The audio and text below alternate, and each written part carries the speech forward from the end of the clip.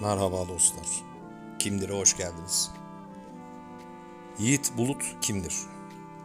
1972 yılında Edirne'nin Keşan ilçesinde doğmuştur. Babası Adalet Partisi'nden 1977 yılında Edirne milletvekili seçilen Mustafa Bulut'tur.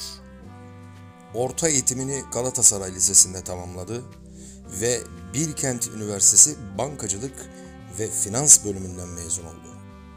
Paris'teki Sorbonne Üniversitesi'nde yüksek lisans yaptı. Kanal 6, Kanal E, CNN Türk'te ekonomi yorumculuğu ve radikal vatan referans gazetelerinde köşe yazarlığı da yapan Yiğit Bulut, Star gazetesinde de köşe yazarlığı yaptı. CNN Türk'te parametre ve finans analiz programlarının yapımcılığını ve sunuculuğunu yaptı.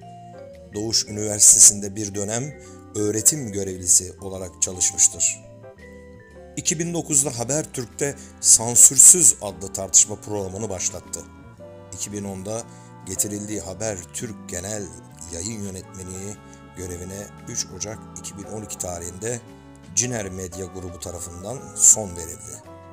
Aynı zamanda gazete Habertürk'teki köşesinden de yayınladığı yazıları da sona ermiş oldu.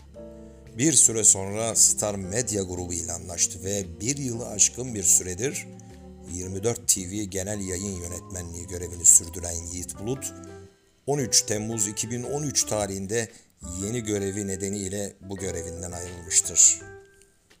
Yiğit Bulut 2013 yılının Temmuz ayında Başbakanlık Baş Danışmanlığında atanmıştır. 30 Ağustos 2014 tarihinde ise Cumhurbaşkanlığı Baş Danışmanlığına getirilmiştir.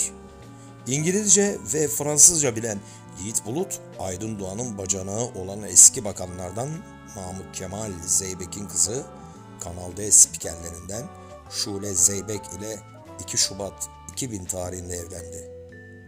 2010 yılında boşandı. Ahmet adında bir çocuğu vardır.